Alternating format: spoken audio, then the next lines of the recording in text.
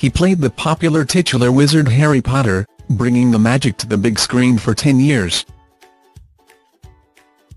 But now Daniel Radcliffe, 28, is the latest star to wade into the role over the casting of veteran actor Johnny Depp in the latest Fantastic Beasts film, from the spin-off to the Magic franchise, following his controversial divorce from Amber Heard in 2016.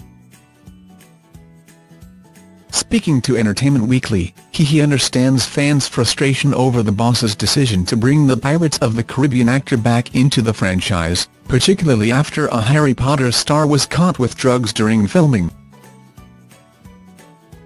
Scroll down for videos some fans have slammed Boss's decision to bring back the 54-year-old actor for his role as Gellert Grindelwald in the Fantastic Beasts sequel because of the abuse allegations made by ex-wife Amber.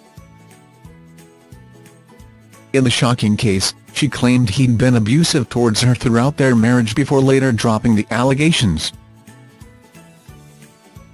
Producers did consider recasting the villain, but later decided against it as the allegations had been dropped, but Daniel can see why fans are annoyed by it. Chatting to the publication, he said, It's a very hard thing for me. The Fantastic Beasts producers are the ones who gave me a great start in life and an amazing job. I can see why people are frustrated with the response that they were given from that. I'm not saying anything that anybody hasn't already said. The Woman in Black actor took from his own experience in the Harry Potter franchise, likening the current situation with that of the arrest of Jamie Waylett, who played bully Vincent Crabbe in six of the Potter franchise films. He was busted for possessing cannabis, before pleading guilty to growing the drug at his home in northwest London in 2009. Vincent Crabbe only featured in the first six Potter franchise films and Jamie did not reprise his role following his arrest.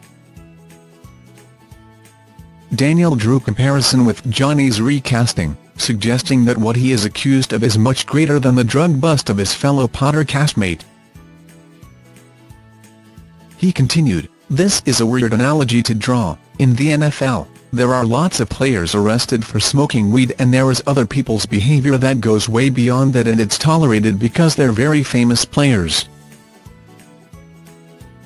I suppose the thing I was struck by was, we did have a guy who was reprimanded for weed on the original Harry Potter film, essentially, so obviously what Johnny has been accused of is much greater than that.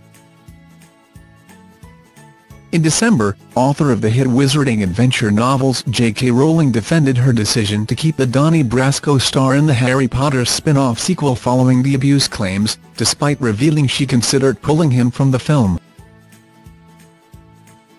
She wrote in a statement, When Johnny Depp was cast as Grindelwald, I thought he'd be wonderful in the role. However, around the time of filming his cameo in the first movie, stories had appeared in the press that deeply concerned me and everyone most closely involved in the franchise. Harry Potter fans had legitimate questions and concerns about our choice to continue with Johnny Depp in the role.